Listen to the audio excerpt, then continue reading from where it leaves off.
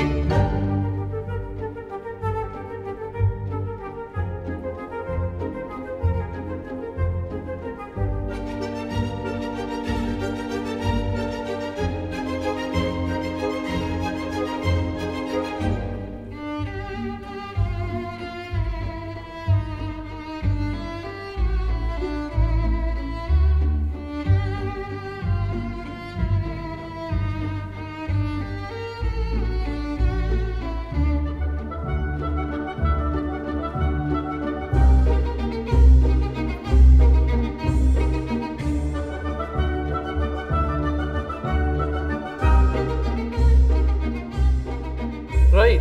here we are.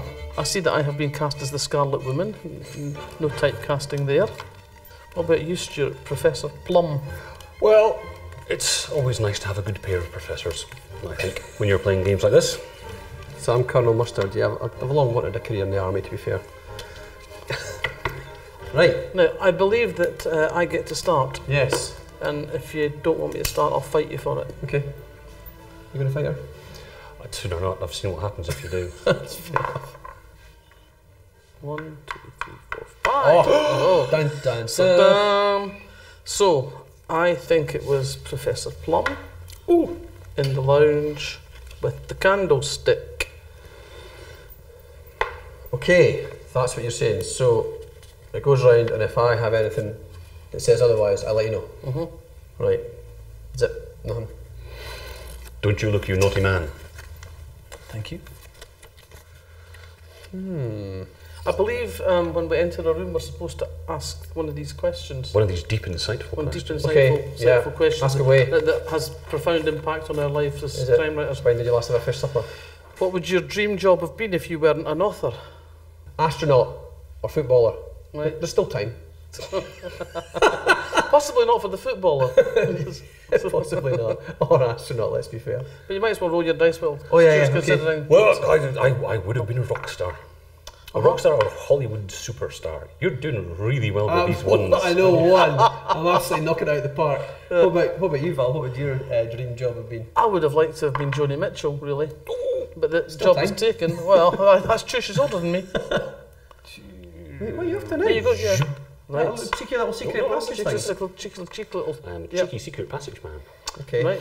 And so, I would like to call into the conservatory Uh huh. Mm, summon. Mrs. Peacock with the spanner. Can't help you there, mate. Deathly silence. I can help you. mate.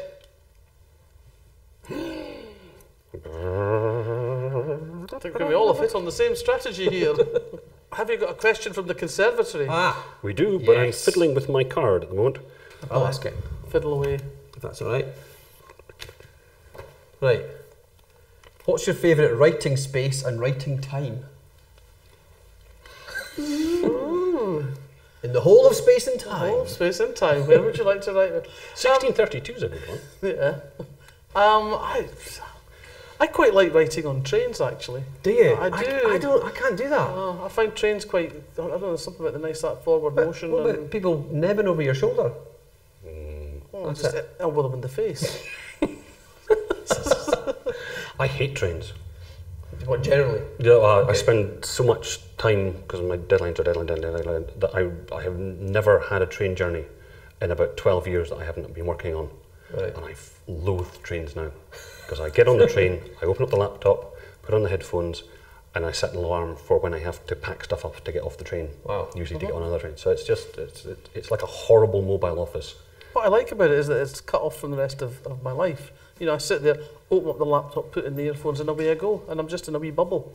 And I feel so virtuous when I get off the train because I've actually had this this train journey and I've done something There's useful. several more words in your Yeah. novel. well, no, I once I once wrote two and a half thousand words on a Saturday night going from Bath to Newcastle. Wow. I wish I could do that. No, I don't. I, I would just like to write anywhere with a view. I, I, Mm. My office is in the loft, which you have to go up a ladder to get into, and there's no windows. Right. So it's quite good for not being distracted, but also I wouldn't like I've been at like taught at Moniack Mhor, and the desks Oh, yeah. are always looking out over the beautiful like hills and stuff. It's like Yeah. this is great, but then you do just sort of stare out the window. And Yeah, but time of day to write. Um, in the dining room, never before eleven in the morning. Really? Yeah, not- I'm a I slow write- starter, I I'm a write in the morning, starter. actually. I write in the morning. So I get a, sh- a shot to make a disgusting suggestion. Okay, yeah. I'll be nice to you. I think it was Colonel Mustard in the dining room with the rope. Interesting. I've got some information for you. Thank you. And, and we do get um, Oh, a question. a question, Yeah. don't we? Stu, you can ask this one since you didn't ask the last one. Ah. How would you flesh out the backstory of your Cluedo character? Do you like that? yeah. For 10 points. I don't know. Miss She's Scarlet. people judge her by her surface, her glamour, her her apparent uh, looseness of behaviour. But behind that, really, she's a quiet and modest person who puts on this facade to cover her secret pain. Don't know what her secret pain is, right? Just, But you know, just some pain in that. either that or she is like a complete floozy with scarlet nails and, and, and scarlet Aye. lipstick. Okay. The name's a bit on the nose, though, isn't it? Yeah, imagine you put that in your book. I'm going to call her Miss Scarlet. Yeah. It's like, hmm, your editor would be like straight through. Yeah, Two on the nose. Call her Tarty Mc... Farty Bottom or something. It's just... I'm no. using that in my next book. Tarty Tarty McFarty with Bottom. I hope it will be a Pierce courtesy off. You'll get a big mention in the acknowledgements. Oh. Anyway, Colonel Mustard, well, he's a bluff old cove, but actually secretly underneath he's got suffering really badly from PTSD because he got his leg blown off in Iraq. How about that? It's all right. Yeah. Professor Plum isn't his real name. It is a nickname due to an unfortunate habit that he has when his hands are in his pockets. Um, his real name is Professor. Carries Professor. fruit around with him everywhere he goes. He does, he does, he does, yes, yes. Um, he's a pathologist. Ah, He's a pathologist. Professor Plum, the pathologist. of course he Of the pathologist. Because yes. it alliterates. Lucifer Plum would that be? Ooh, ooh. I was going to go for Euphemia. I'm really embarrassed about this first name, but I like that. I like that. Nice. Right, is it my shop? It is. So can I just have a guess here without rolling? If I'm in here already? I think you can, you yeah. can. You can do that for your turn, yeah. Aye. Okay. Yeah. I'm going to say the Reverend Green with a gun Whoa. in the lounge.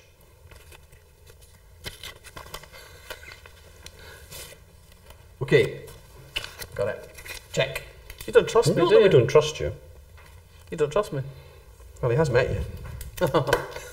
Well, Stuart still hasn't told us what time he likes to write. Um, I basically do most days all day. Five. That's because you write such long books. How long was that big blockbustery one of yours? 184,000 words. Jeez. It is two books, though, in, in one. I had really hoped that uh, my editor was going to get to it and go, This is two books, isn't it, Stuart? Oh, yes, it is. We should cut these in half, shouldn't we? Yes, we should. And then that would be one another book from my contract gone. And, and it know, would it would happen. it would have saved them the expense of having to issue wrist supports with the book. Well, It was very heavy. that's what Kindles are, are there for. It's your shop, Alan, isn't it? Other electronic books are available. They are. Okay, let's go. One, two, three, four, five. Oh, so close. Right, one. I've got a one. We'll tell you what. Dun, dun, dun. Not done the billiards room yet. To the billiard room I shall summon the Reverend Green. Here he goes. To the billiard room you go, mana. To the billiard What? room you go. And the candlestick. With a candlestick. What room is? Oh, that's mine.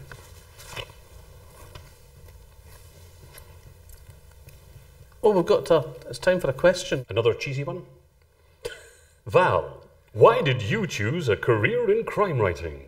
Uh, because I was useless at everything else, basically. Um, no, I, I, I read a lot of crime fiction growing up. I, I got the Agatha Christie bug uh, quite early on. I used to stay at my grandparents a lot, and that was the only book they had apart from the Bible. It was Miss Marple's debut, Murder at the Vicarage. And I got hooked. Uh, and I wanted to be a writer because I discovered when I was about nine or ten that people got paid to write books. I thought that would be a good thing to do. Wow. I, I hadn't- I had no concept of that until I was basically a grown up. That like Yeah. actually someone had to write that and they might get paid. Well, I read it. I read, I read, I read it in a book. it's this girl's school stories I was reading, and one of the Oh, characters okay. grew up to be a writer. And in one of the books, she gets a letter and she opens it up, and it's a check from her publisher. And I was going like, "A check from your publisher? You get paid money for doing this? Fantastic. And Fantastic!" then you started doing it and realised. Ah, yeah, yeah, yeah, yeah. Indeed, I started doing it and realising that was not I was not going to make a living out of that. But um, I read a lot of crime fiction, and so ultimately, after a couple of false starts at other kinds of writing, it seemed the obvious way to go because I kind of knew how it worked. So would you go back to something? One of your false starts? Um, no, not really. They weren't very good. Is no other genre that you think? Well, "I'd I don't. I, like I did. I did. I did uh, have some early success writing for the theatre, but I didn't really know what I was doing. But I think in the intervening period, I have learned a bit more about how the nuts and bolts work, and I have actually just finished the second draft of a play for Òran Mór in Glasgow. So Really? we'll see how that comes. It's not a crime. It's not a crime story. It's it's a, a heartwarming and moving story of um, Scottish life. Really? Well, no, really, no. now, where are we? It's you. It's, it's my shot. Yes. Right. What about you, Stuart? Getting crime writing? I just did it for fun and was quite surprised when things actually started happening. A six! I can't go And with you I, can't I just, anywhere. I just got go a dog. I just got a dog there. I got a one. It's good that's all become synonymous with me. That's excellent. I'm happy about that. Four. Uh, You could go to the library. I'm just about to the library. Where everybody should be going. Yes. I would like to summon. The summoning. Like by Stuart MacBride. I'm the summoning. I'll be another 185,000 I will, I will Uh, summon. That'll be, you know, sort I summon Miss Scarlet because you're cheeky with the revolver. Does anybody have a fish? I cannot help you. Oh, I've just seen a card I didn't, didn't know I had.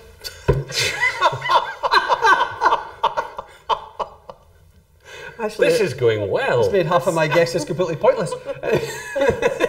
Ah, thank you. It's the penetrating perspicacity of the You're crime writer. You're supposed to pay attention and everything. Uh-huh. Oh, No, no, yeah. someone told me about this. yeah, it's like following the clues in that. Ah, clues. Let's see if you do any better with the question. okay, okay, okay. I Can we just say this is a very, very silly game? Have you ever known a murder investigation where they don't know who was killed where or with what? Where's the body? Oh, Why are we here? What are we investigating? Somebody we don't Where's know the, has died. is that the question? Where's the don't know. back? What's the backstory? What's the point? What's the point? Well, it could be like, you know, there's a body floating in the river, but it hasn't drowned. And the police have not yet been able to identify the body. Or it could be just skeletal remains. You could still make a fairly educated guess Well, whether it's male Sue or female. Black. Sue Black could make an educated guess, but I don't know if we could. Well, I think I think we could make a fairly good one because we have spoken to Sue Black about Aye. many oh. many things We have, yes. with calipers. Well, oh, you spoke to her with calipers. Oh, yes. Okay. It's I broke a hyoid way. bone once. Did What? you? I, I- she was showing me a hyoid bone and she was saying, look, look at flexes. This is the wee bone in the throat Yeah. that breaks if you strangle somebody. So and she says, look, uh, you can see the flex in it. So she, she gave it to me to try. And so I'm like, I'm going with the flex. Boom. Snap. That was my favourite. That's my favourite bone. you broke. We're not having soup tonight. We didn't get much soup off a hyoid bone. It's, it's like a chicken wishbone. Cluedo is very evocative of the so-called golden age crime writers. Who is your favourite classic crime writer and why? I used to be on the radio, can you tell? Really? Um, What radio? Oh, only Radio North Sound and only um, advert, adverts and voiceovers for things like the shackle point on the rear of the FSU has to be fixed down like this. Not doing so can cause a buildup of pressure that may lead to death. Beep. Did you have to do the beep as well? They couldn't even afford an They couldn't even beep. afford a beep. Jeez. well, if the books ever start tailing off, you've always got that to fall back on. Uh, anyway, So- so uh, Chris, so Golden Age, I, was, I wasn't really, I wasn't brought up on that stuff actually. Yeah. Um, so I'm not, re- I mean, I've read a few Agatha Christie's and what have you, but I mean, I would either say, bef- like, before that, Robert Louis Stevenson, Mm. or, which I, I was a big fan of, or then after that, some of the American stuff like Chandler and Hammett. Mm-hmm. That would be my thing. But the, the sort of the, the English Golden Age kind of passed me by a little bit just because I was never really exposed to it. Yeah, I kind of cut my teeth on Christie, and I still admire her, her, her capacity to turn a plot like nobody else. You know, it's like probably about 10 of her books when she was like absolutely on top form, and I think that they're still worth worth looking at for, a, for somebody who wants to be a crime writer, just because it, it shows you the craft, really how how to tell a story. Yeah. Um, but I think of, of, of all the sort of earlier uh, crime writers in the, the among the British crime writers, I'd I'd go back to Josephine Tey. Okay. Uh, you know, and I think she's a terrific writer. She was interested in the kind of things that nobody else was writing about at that point in, in, in British crime fiction. I mean, she was interested in issues of gender and identity. So she's writing these books back in the 30s and the 40s and that. Um, and I just love, sh for most of the time, she was Beth MacKintosh, you know, this uh, Inverness housewife looking after her, her father. And then she'd get on the night sleeper and she'd arrive at Euston and she'd get her furs out of storage and she'd become Josephine Tey, crime writer, and sort of like have all these glamorous friends in London. And I just love that thing. If you, you get on the train, one person, and you get off at the other end, somebody completely different. Do you think? Do you think she was spending the train journey writing as well, like you? Sleeping or drinking, Tapping away, as yeah. people do on the sleeper. yeah, drinking Gibsons. I'm going to pick somebody that you might not expect. A.A. Milne. Okay. Yes. House Red did, did- did actually write Yeah. um, crime fiction. Only once. And I think he was worried it was going to be too successful Mm. and overshadow the other books that he wanted to write. Yes, we all worry about being too successful, don't we? Uh-huh. It keeps me awake at night. And then, of course, he goes on to write Winnie the Pooh, Yeah. and that just Yes. well, nobody remembers any of the plays he's written or any of the other things. Yeah. It's you, I think, isn't it? Is it? So we're so on top of this, aren't we? Yeah, we're absolutely Whoa. we're nailing it. Oh, and another five. Where am I? Library. Okay.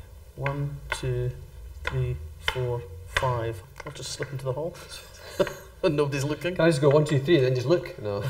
okay, hall. I'm in the hall. Uh, Right. Let's go with the dagger. So, Mrs. White with the dagger in the hall.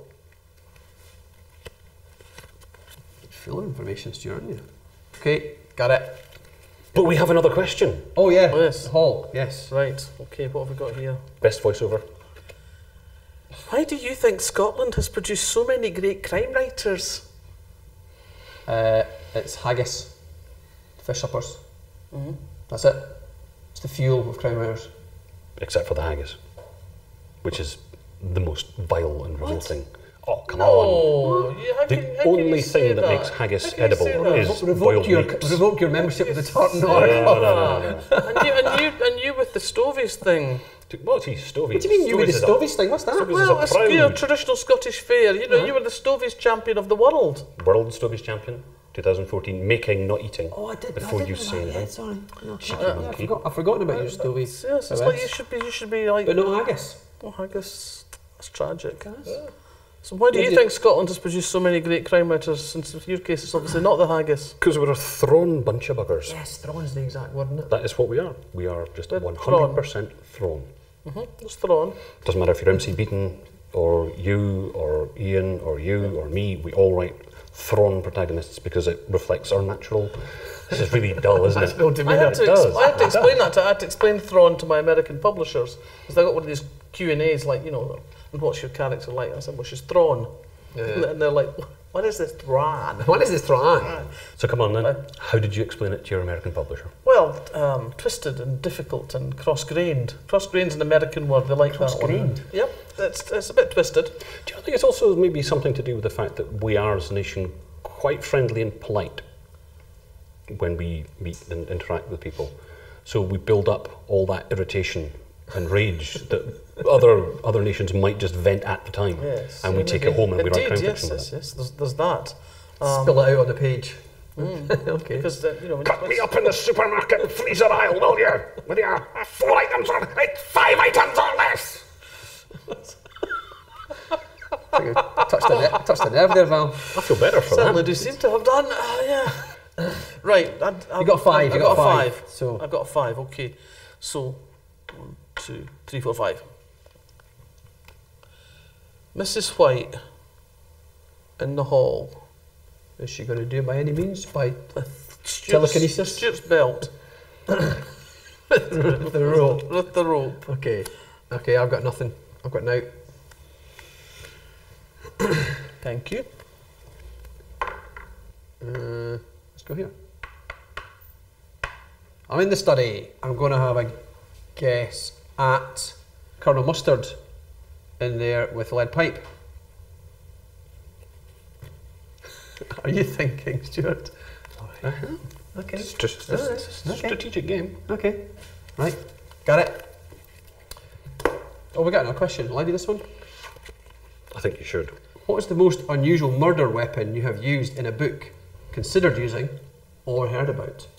Well, the famous extraordinary one is the uh, the Roald Dahl one with the leg of lamb, Yeah. frozen leg of lamb, which feeds it she- to the she- police. and then roasts it and feeds it to the police, Yeah. which is lovely, and poetic. I think the, that my favourite one was an exploding uh, bottle of Weissbier.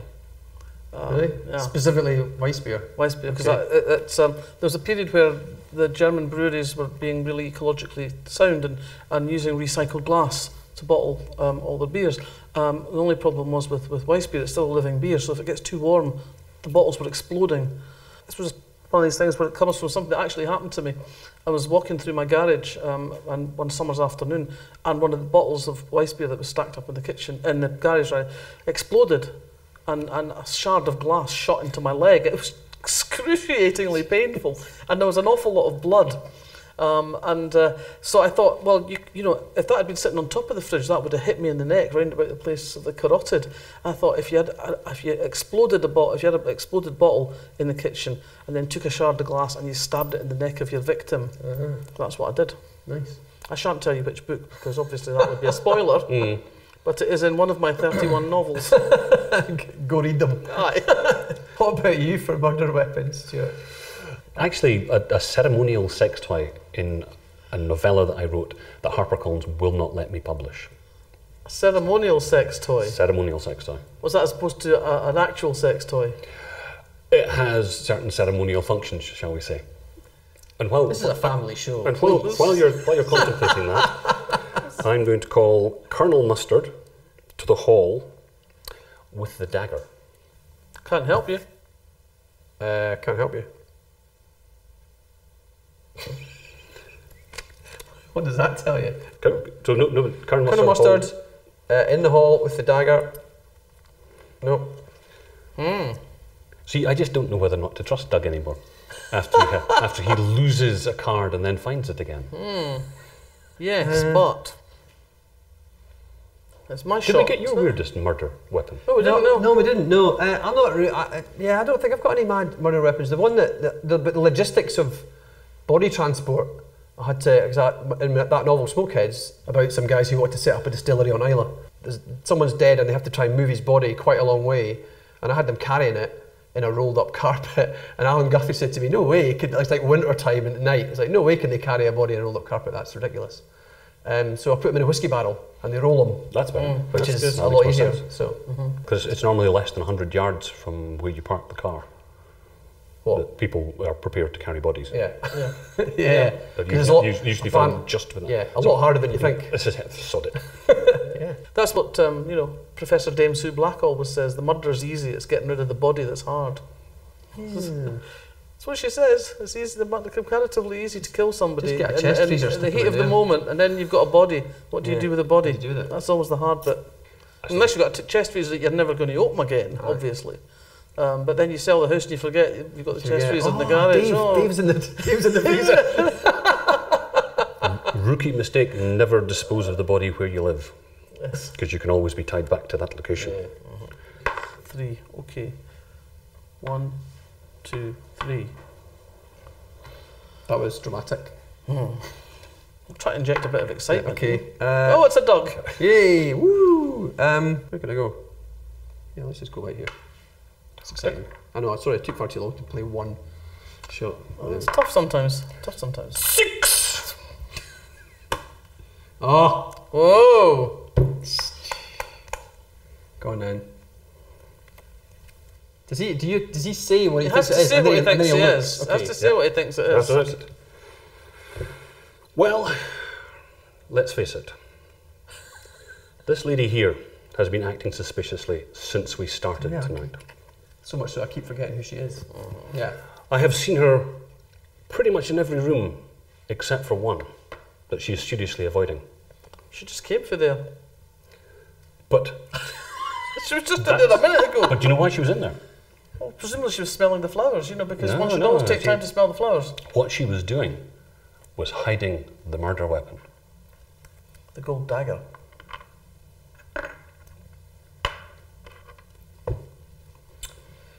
Go for your life.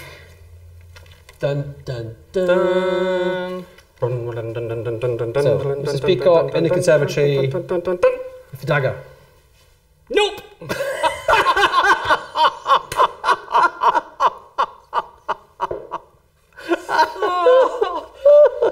Get to go and have a drink now. You still have to sit ah, there. I know. I thought I would get to go and have You a have to go in, drink. like, where's that? Have we got the dunce's cap? Where's that? You have to sit in the corner. Well, the pointed blue one yeah. for, for Admiral You have to. You have to. You are Admiral I know Thrawn. why as well. Why? I know why. Because somebody had a card that they forgot that they had. Oh. Keep Didn't they? Up. Keep your cards up. Keep your cards up. I don't want to cheat. Aha! Aha ha ha ha ha ha ha ha. Yes. Ha. It's probably not that. No, I don't It's know. probably nothing to do with No, I don't think I no, it's fine. It's all right. It's nothing Well, to do with that. okay.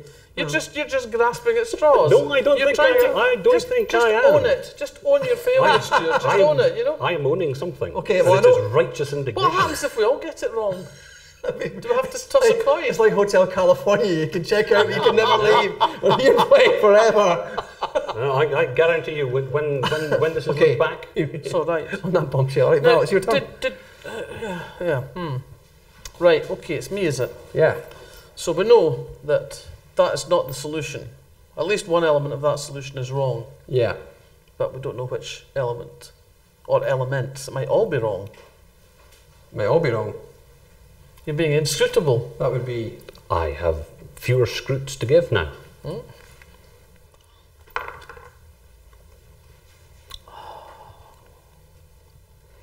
We're going to have to start making up questions now. You know that, oh, don't you? I'm going to go for it. Who?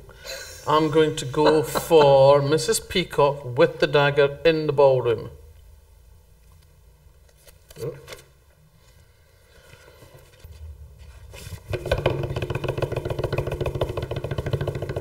But that's not strictly accurate. Oh, boy, oh boy. did I get that wrong?